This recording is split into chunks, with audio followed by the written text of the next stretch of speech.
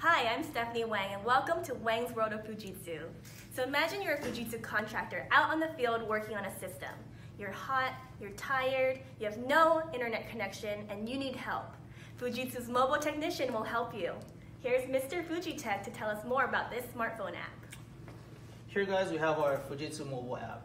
With this app, you can download your air handler, you can access trouble codes anywhere from the 11 code to the 99 error code. The feature I like about this app is getting to the thermistor readings. My favorite one is the room thermistors.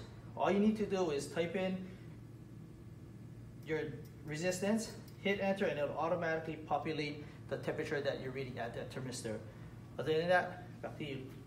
Download the app today. Tune in next time to find out more reasons to love your Fujitsu.